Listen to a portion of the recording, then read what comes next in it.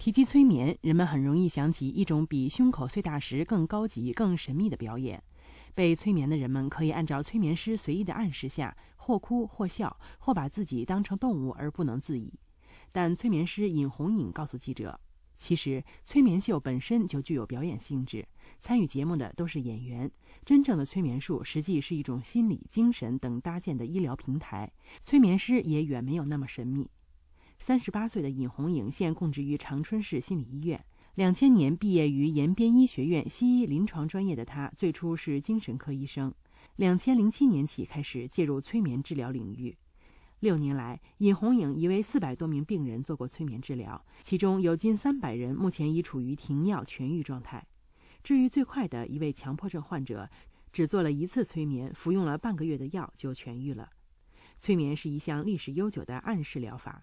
古代的占星术、道家炼丹术、上古时期的巫医等使用的都是催眠道理。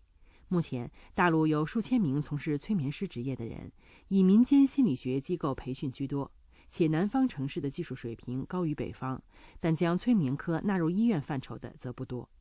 尹红颖认为，科学的催眠治疗应该是精神科和心理科有效结合。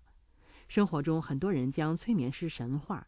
尹红颖对此表示：“其实，催眠师就是一种专业性很强的职业。作为医生，他希望通过建立催眠治疗和研究的平台，推动传统意义上偏主观化的催眠治疗法客观化、系统化、规范化。”